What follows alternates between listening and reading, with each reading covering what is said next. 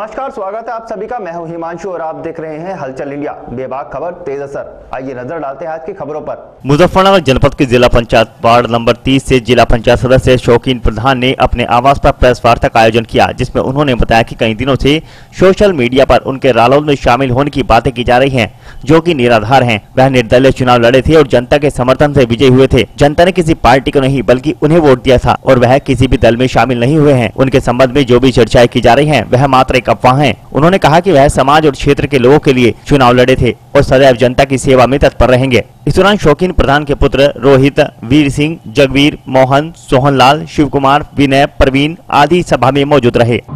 यह अफवाह सब गलत है।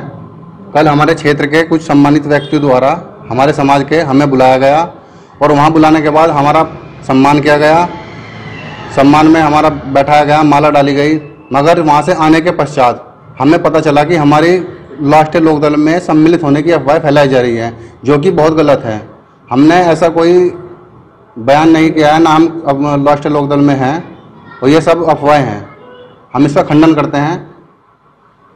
आप किस पार्टी में हम किसी पार्टी से नहीं हम निर्दलीय हैं। हम निर्दलीय ही चुनाव लड़े निर्दलीय ही जीते और अभी तक निर्दलीय ही हैं। आज के लिए तत्पर खड़े रहेंगे।